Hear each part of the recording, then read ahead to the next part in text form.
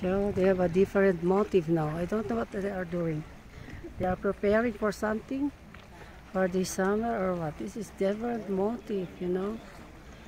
Uh, they are working first and then here is the later is the uh, opera. We must look look at this the, the stool the the what do you call that the chair here in this opera house how many chairs that uh, you can you can go here. I can remember that Elton John was here. He made a concert here. It's beautiful here and there is a what is that electric?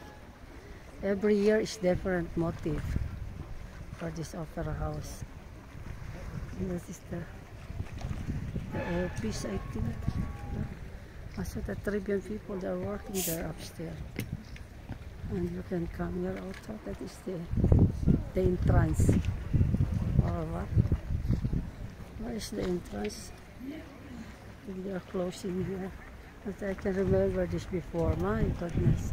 I was here though. The entrance is very expensive though. So that is the view. Look at that is the province of Vorarlberg. Germany. In the other side. There is the Germany now. This is already Lindau, I think the capital city of province of Lindau, Germany. This is near, a few minutes only from here. We can drive there. So,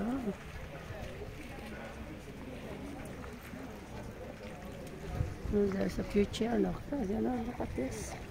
I think if you're sitting here in the front, much more expensive, I think.